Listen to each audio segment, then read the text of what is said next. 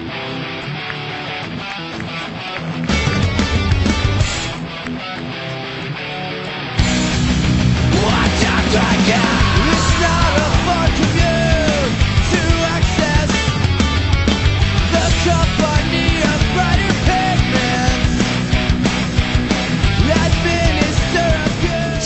양 선수가 그렸던 그림이 완전히 달랐습니다. 그렇죠. 예, 먼저 이제 김명운 선수가 아무 생각 없이 11시로 달렸다라고 이제 말씀드렸는데 먼저 사과를 드리고요. 네네. 예, 김명운 선수가 zergling을 12시 쪽으로 한번 우회를 해서 11시 쪽으로 달렸지 않습니까? 그 이유가 첫 번째 overlord를 김윤환 선수가 이렇게 그 반대 방향으로 꼬은다고 하더라도 두 번째 overlord를 12시 쪽으로 보내겠지. 이 12시 쪽에 overlord를 확인하지 못했을 때는 7시 쪽으로 달려야 되겠다. 네. 김윤환 선수가 overlord를 첫 번째 overlord 꼬을 것까지 생각하고 예, 대비하고 구드론을 띄웠다고 하네요. 아, 그렇죠. 이게 혹시 몰라서 선수한테 가서 직접 또 쉬는 시간에 가서 확인까지 하고 오는 열심히 하는 박용욱 해설입니다. 예, 네. 예, 이게 이제 그 7시일 수도 있고 11시일 수도 있고 어, 라는 생각에 드론 정찰을 하면서 일단 센터 쪽으로 보낸 다음에 드론 정찰 결과에 따라서 7시로 가든지 11시로 가든지 이런 전 선택을 할 수도 있는데 드론 정찰을 굳이 하지 않으면서 구드론으로 그냥 달린다라고 했을 때는 overlord 한 군데 보내보고 둘 중에 한 군데 찍어서 달리는 게 맞, 맞는 거예요. 아, 그럼요, 그럼요. 근데 둘 중에 한 군데 찍어서 달린다라고 했을 때는 가까운 데를 타면 좀 가는 거죠. 예. 어쨌든 김명훈 선수의 선택 그리고 준비했던 그 감각이 오늘 제대로 들어맞고 있습니다. 지금 이번 시즌 들어서 첫 2승이란 말이에요. 그러니까 위너스 들어서 첫 2승인데 그쵸. 이렇게 되면 김명훈 선수 웅진의 주장답게 웅진의 분위기를 위해서 올킬까지 고고싱 해야죠. 네, 지금 뭐 경기력도 그렇고 예, 오늘 처음 위너스리그 처음으로 2승을 기록했잖아요. 에이스다 보니까 이제 올킬에 서서 욕심이 좀 날 것 같습니다. 네. 자 그렇다면 STX 쪽을 계속 이대로 김명훈 선수가 신나게 만들어줄 수 없기 때문에 진화하겠다. 이제 불 끄겠다. 테란으로 진화 작업에 들어갑니다. 네, 근데 어 기왕이면은 테란이 저구에게 아주 크게 앞서 있었던 남한차에서 테란이 나오는 게 좀 어땠을까 하는 생각으로 약간 결과론이긴 해요. 김인환 선수가 패하고 나니까 그런 생각이 들 수밖에 없는 느낌이긴 한데 어, 지금 맵이 서킷 브레이커인데 서킷 브레이커는 저그 테란을 약간 앞서고 있거든요. 하지만 대신 김동건 선수가 이번 시즌에 저그전 3승 1패를 하고 있기 때문에 그렇죠. 예, 저그전 감각이 매우 좋은 그리고 경기력이 좋아요. 맞습니다. 예, 그런 그 의미에서 김동건을 믿고 예, 출전시킨 것이 아닌가 싶습니다. 위너스 리그 방식이 김동원 선수 본인에게 잘 맞는 것 같다. 확실히 3라운드의 1, 2라운드보다 분위기가 훨씬 좋았거든요. 자, 그것을 STX 코칭 스텝이 믿고 김명훈 선수를 잡아와라, 잡아 끌어내려라 라는 임무를 주어진 게 아닌가 하는 생각이 듭니다. 자, STX 돌과 웅진 스타즈의 세 번째 세트 과연 승자가 누굴지 확인해보자.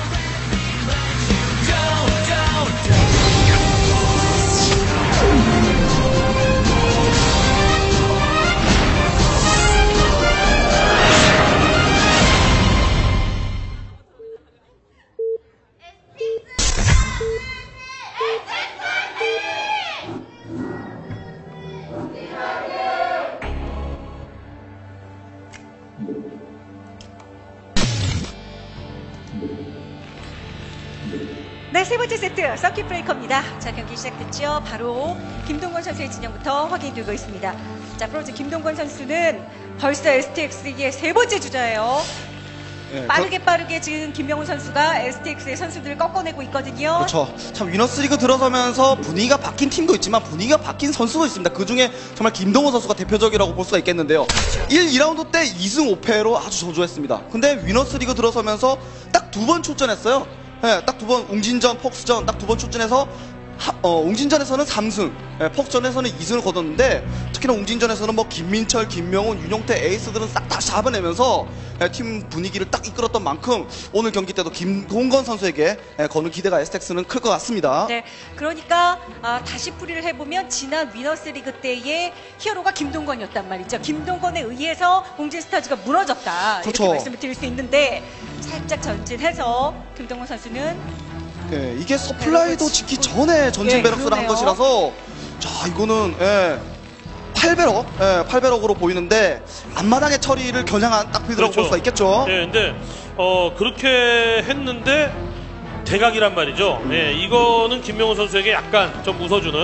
그러니까 뭐라 그래야 되나 지역은 위치운 어, 서로 간에 선택하는 build에 따라서 이 빌드를 선택했더니 지역이 여기더라라고 하는 운이라는 것도 있잖아요. 아, 그렇죠. 예, 그 운이 세 경기 연속으로 김명훈 선수에게 약간 웃어주는. 것 같은 네. 네, 이런 기분이 좀 있습니다. 네. 게다가 게다가 확인을 해보니까 지금 김현우, 김윤환 그리고 김동건 선수에게 계속해서 상대 전적에서 김명훈 선수가 밀려요.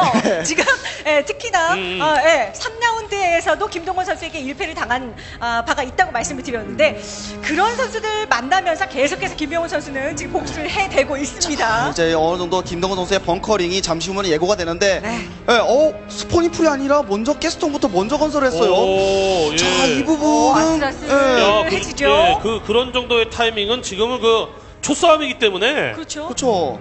아, 더군다나 정말 이 벙커링 역사가 정말 길잖아요. 예. 최근에 벙커링이 정말 잘 막히는 이유 중에 하나가 있지요. 저그 선수들이 네. 들어온 숫자로 어느 정도 마린을 예, 벙커 쪽으로 들어가지 못하게끔 이 컨트롤이 정말 좋아서거든요. 그런데 지금처럼 드론 생산을 그렇게 여유롭게 하지 못하고 스포니프를 조금 늦게 가져갔다.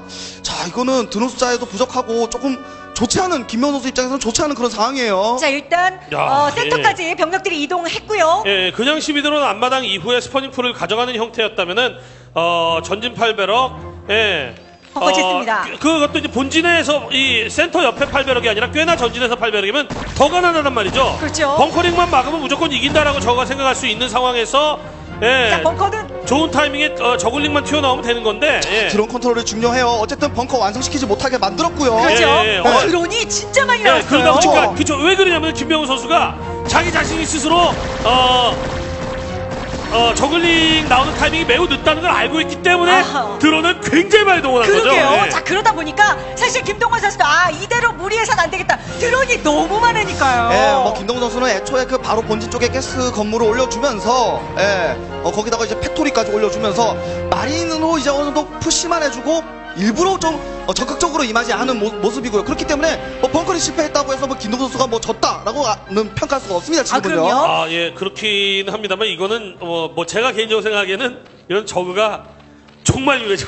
예, 진짜 할 만한 예, 이런 상황이라고 생각이 되고 예, 빠르게 tech tree를 올리고 있는 예, 예, 만큼 김동건 선수가 vulture로 뭔가 예, 큰 재미를 보거나 아니면은 two star 뭐, 뭐 이런, 이런 형태로 뭐 뭐가 좀 되지 않는 이상은 야 이거는 지금 어, 일반적인 테란대 저그의 어, 원- 원배럭, 원- one marine 더블이나 뭐 그냥 뭐 no marine에 배럭 더블 같은 거 한 테란하고 예, 12드론에 앞마당 먹고 어, 한 저그하고 이런 정도 비교를 했을 때는 부유하고 가난한 정도 차이가 너무 크게 차이가 자, 납니다. 그리고 예. 예, 김명운 선수가 lair보다도 zergling speed up을 먼저 눌렀어요.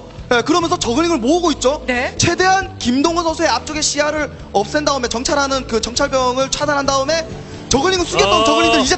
올라가네요, 예, 올라가네요. 예. 그동안 말씀하신 대로 차, 차곡차곡 놔뒀던 애들이 계속해서 예. 조를 짜고 그런- 올라갑니다. 그런데 김동건 선수는 wraith 올라가고 있고 입구가 야, 막혀 있는 이거- 상황도 아니고요. 불안합니다. 게 하나 더 있는- SCV가 나와야 돼요. SCV가. 자, 근데 전혀 예. 눈치채지 못하고 있는 것 같은데요. 예, 그나마 vulture가 아, 둘이라 약간 이거. 다행이긴 한데. 네. 어, 머리, 머리들이 이거. 벌처기를 막으면 안 되죠? 그렇죠. 마린이 아, 맞아주면서 머리- 벌처가 때리는 그런 모습을 좀 만들어야 돼요. 많아요. 이거는 저글링 또, 많습니다. 또 단기전으로 경기 가 가능성이 높아지고 그렇죠. 있어요. 헬스틱스 오늘 진짜 아무것도 못해보고 속수무책으로 당하는 그림이 예. 계속 나오고 있어요. 거기다가 김명훈 선수의 뮤타이스크가 아니라 김명훈 선수 저글링에게 세 명 다씩 그 셧아웃 당하게 생겼어요. 이대로 야, 그냥 예. 고고싱인가요 오늘?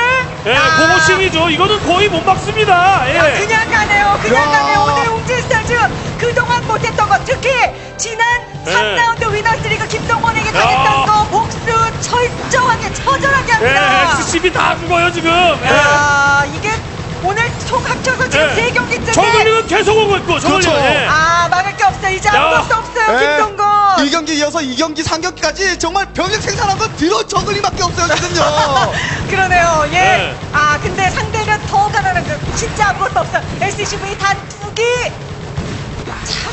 아, 이 민망하겠는데요, 선수들도. 예, 예. 그러나 뭐 어, 경기라고 하는 게 예, 어떻게 어떻게 굴러가다 보면 이렇게 되는 경우도 있긴 있어요. 예, 이거 어, 참, 그게 갑작스럽게 김명훈 선수가 달려들어서 그래요. 김동훈 선수가 앞쪽에 좀 시야가 있고, 저글링이 스피드업 됐다는 것만 좀 확인을 했다면은. 전혀 예, 몰랐습니다. 이 정도까지는 아니었겠죠. 전혀 몰랐습니다. 김동건 선수는 아무런 대비가 되어 있지 네. 않았고, 네. 야 이제는 vulture 한 기 아, wraith가 나왔습니다만. 그렇죠. 예, 예. 김동건 선수가 나름 그 좀 뭐라 예, 아쉬운 마음에 예. 예, 아쉬운 마음에 예, one- one wraith one vulture 컨트롤 해주고 있습니다만 저뭐 무슨 의미가 있습니까?